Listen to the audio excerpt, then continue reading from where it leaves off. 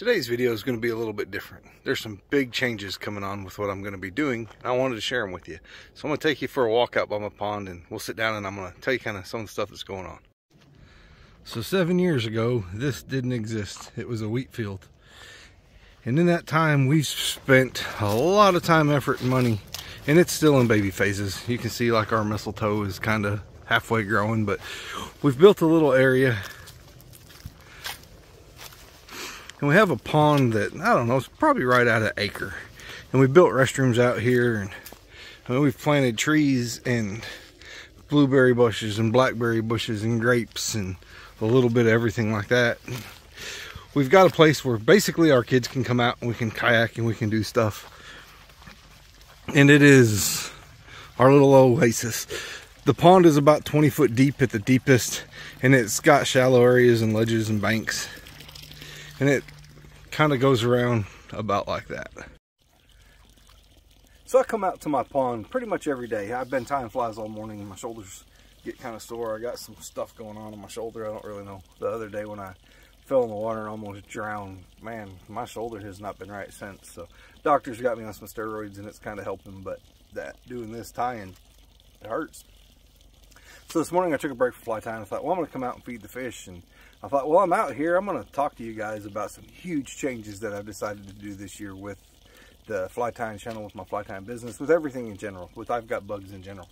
So this last year, I started a, a fly fishing club for some homeschool kids. My daughter, we decided to homeschool her to give her some more one-on-one -on -one attention to get her kind of better educated than what, what we were able to get in the public school system not a political thing there. She has an issue and it took extra work. It takes a lot of one-on-one, so we had to work through that.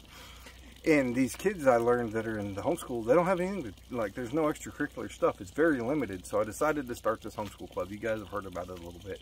It has exploded. I live in southwest Oklahoma. Literally, this last year, there was a kid in Oklahoma who wanted to catch a fish in every county in Oklahoma and I was the only place in Oklahoma, in, in the county that I live in, in Jackson County, Oklahoma, that had water. Um, the reservoir that had drained, the, the, eh, we were in such a drought. Now we've had like nine inches of rain in the last month, but this was literally the only place that had water. So, you know, it, was just kind of crazy to think that this little fly fishing club in a county that has literally uh, hardly any water whatsoever to go fish for trout, it's, uh, the minimum to fish for some stocker trout is an hour and a half and then you're three to five hours out to fish you know anywhere that's going to have like creeks and streams and stuff like that so to have that here it was kind of crazy but it's become probably the greatest thing I've ever been a part of. I absolutely, the fishing club is my favorite thing that I, have ever been a part of. We have a lot of fun. We tie one week and then the kids get to fish and they come out here and they fish and it's just been a lot of fun. And with that, it kind of brought like this idea to me. I have a room in my house. It's like a 15 foot by 18 foot room. That's my fly tying room. yeah, I've outgrown it. Um, but when I do fly tying club meetings, we can't tie in my house. I don't have enough places for all the kids to sit down. I don't, you know, plus I don't want a bunch of kids just running around in my house, knocking paintings off the wall and stuff like that. So I've decided this year that we're going to do some changes and I'm actually going to build me a fly tying studio on the north end of my pond. I'll walk you guys through there and kind of show you here in a little bit. And with that, my pond's about an acre. Not completely the whole acre width, but it's pretty close to an acre. And it's kind of peanut shaped. There's a smaller, shallower end that's got a bridge that crosses. And then there's this bigger end. And over here in this bigger end, I've got an island. And in between there, it's like a 20 foot deep hole. And so it stays really cold. Like I keep trout in here. Um, I just literally got some stocked and there's another delivery coming next week. And the trout, they'll survive almost, I don't know, June, Uh, depending how hot it gets. You know, we get pretty hot here in Oklahoma. But the bottom of that pond stays pretty cold, and then I keep well water running into it all the time. That's constant 62, 63 degrees. So the, the water, we can keep trout a lot longer than normal. And when they get close to the time where they're not going to make it, we harvest them out. My wife eats fish, so, so she eats them. So with that said, what we're going to do is, I've got like some big rocks here and on the different areas of the pond that we use for casting stations. Well, I'm going to build a fly shop on the north side over there that you can walk right out to to the island. Now it's not going to be like a competitive fly shop trying to compete with all the you know different people who do business and that. What I'm going to do is I'm going to have a place where I can do the classes for the kids you know, and the classes for the kids are free. I don't charge them anything. Literally, the channel pays for all of it.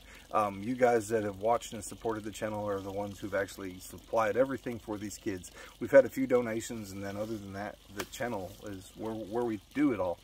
So what I'm going to do is I'm going to have it set up to where I can have a place with all the fly tying materials where when we do classes they can come and we have every single thing that anybody could possibly want. And then if people want like one-on-one -on -one fishing lessons and stuff they can come out here by appointment type only and we can get whatever. And then I'll have very basic fly fishing needs. Um, I've got in the last year I've taught over 200 people in this area some fly fishing stuff or I've had people come in and help. And it's becoming a lot more popular than you would think. So there's you know different fishing places you know an hour or so from here and people are starting to fly fish it. But there's nowhere you have to go three hours to get the closest fly tying materials that you can get around here. So I'll keep some basic tippets leaders stuff like that. But it's going to be more of like an education sharing type facility. And then if people want to learn how to fly tie I'll do one-on-one -on -one classes, stuff like that. If they're wanting to learn how to cast, do stuff, they can come out here, they can tie their flies, they can come out here and actually fish. And then I'll probably do some by appointment only, let families come out here with their kids. When I was a little kid, I grew up in Colorado and they used to have stocker ponds, and I'm sure they still do. And you could pay by the pound to go fish. Well, I'm gonna, this will be catching early, so I'm not gonna let people take my fish. Matter of fact, I need to feed them again. Um, so I'm gonna, you know, make it to where people can come out here, spend time with their family in a very safe, confined environment that's not got riffraff. You know, we can really keep that kind of stuff out, and they can have a good experience with their kids if their kids want to go out and catch a fish. Because if you go to just a random lake with your kids fishing, around here the chances that you're going to catch something is pretty slim. So here I can guarantee they catch fish. I mean, there's it's it's ridiculous the amount of fish that I have in here. So that's one level of thing. With the other part I said I live on a homestead. Um, you know, several years ago, when me and my dad decided that we were going to do this before he passed away, he, I, I, live across the street from where my parents raised me. So basically, I, me and my dad, we were going to do this homestead deal when I retired. Kind of got sick of dealing with people being in law enforcement. And we were going to start raising all our own food and doing all that. And those of you who followed my channel for very long know that my channel started out as a homesteading channel and my passion is kind of fly fishing and I didn't really want to get all personal about how we live our day-to-day -day lives. So now, through a lot of thinking, I'm not going to get into homesteading and showing you guys how to do this or how to do that. But what I am doing is this year we are going to start raising a lot of fly tying materials. And everything that I raise here, we raise their food, so there's no chemicals put in anything. So when I'm tying, you know, last year I tied a bunch of bucktails, um, crappie jigs. And when I got done, my fingers were just solid, whatever color of the material was. And it really made me think how much chemicals go through these feathers and materials that we get that's really unnecessary. So I'm gonna start raising uh, tons of different hackle. It's not, uh, we probably aren't gonna have the Whiting quality of hackle, but we'll have some good quality hackle. I know this because I've raised some for myself this last year and it's doable. Um, I'm working with the state right now getting all my licenses done, but we're gonna have some flight pens out here and we're gonna have pheasants, uh, different different kinds of pheasants, quail, uh, some some different kind of partridges, to where we'll be able to get all those kinds of feathers that will all be natural, organic, chemical free, 100% uh, you know raised here. And it's a small operation. Our place is eight acres. It was basically two city blocks, and when we bought it, it was barren. There was nothing here. And in the last seven years, I've planted, I counted them the other day, with 347 trees we've planted here. Totally looking different. Here's a picture of what it looked like.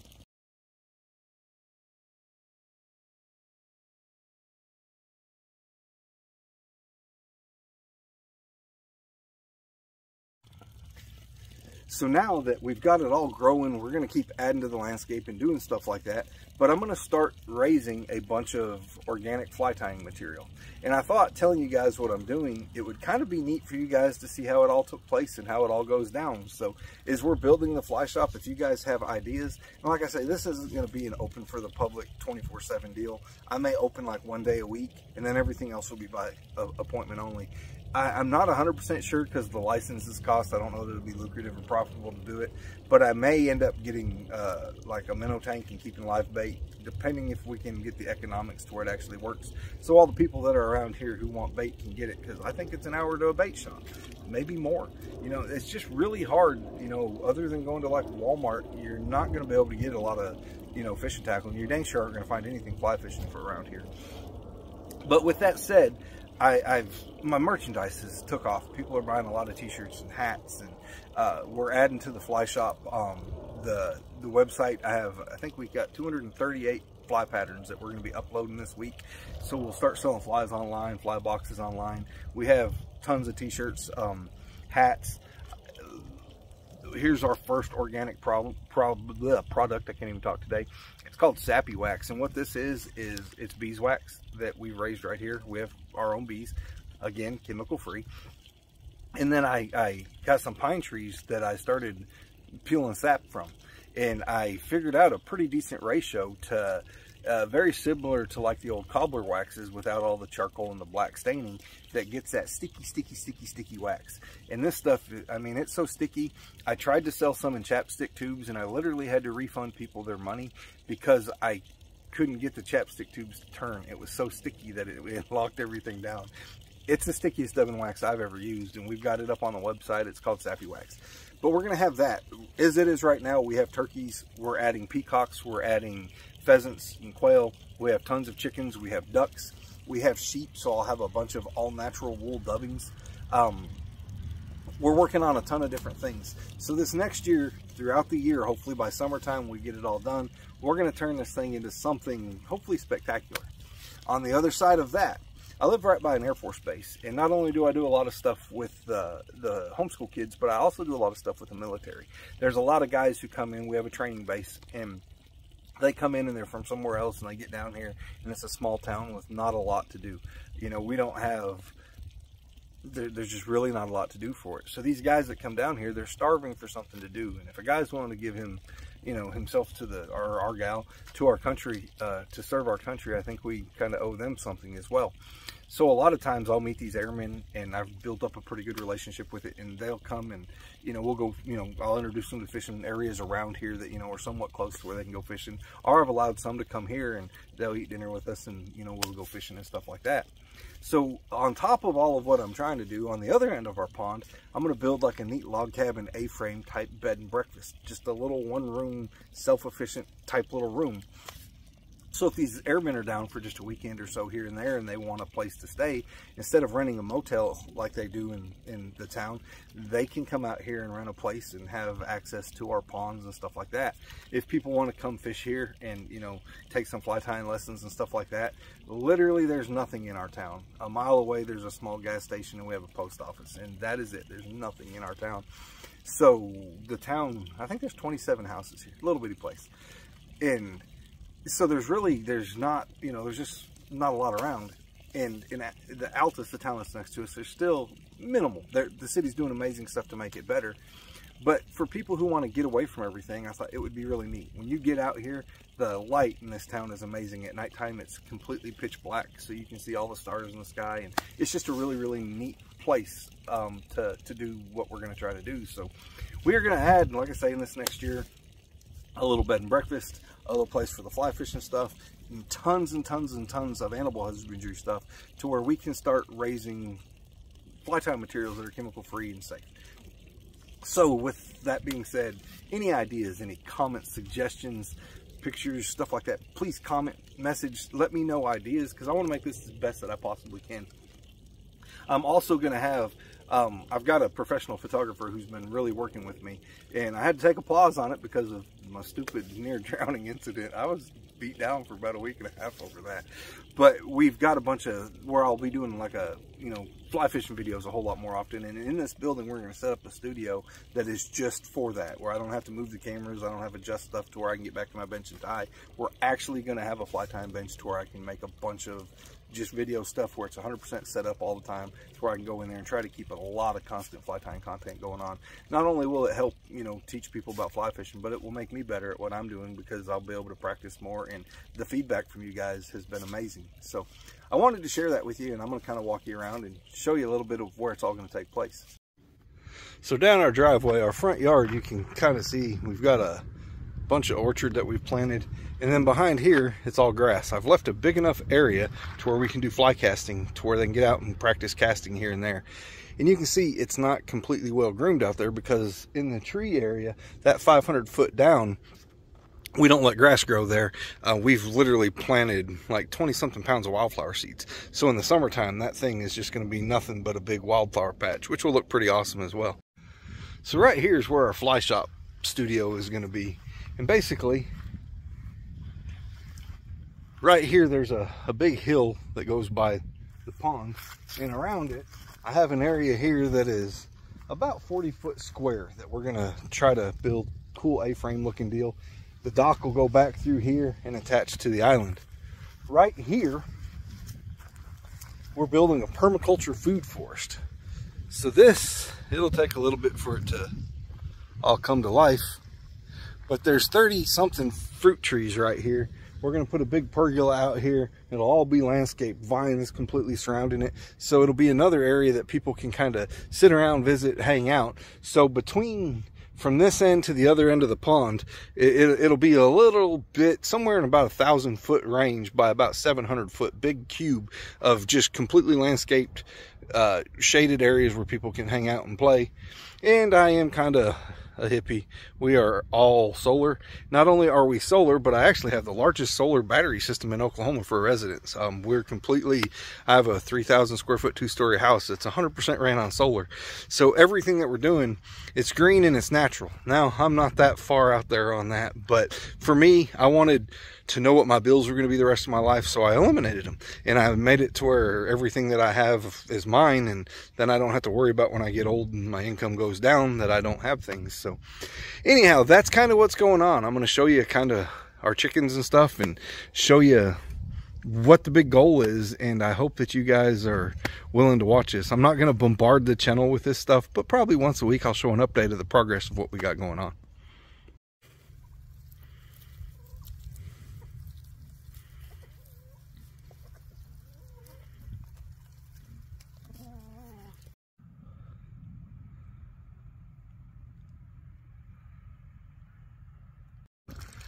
Well, that's kind of the introduction of what's going to take place this year. I appreciate you guys and your support. I hope this doesn't scare everybody off, you, you know, people who aren't interested in this side of it, but you guys helped get it here, so I thought it'd be nice to share with with you guys kind of the progress and what's going on.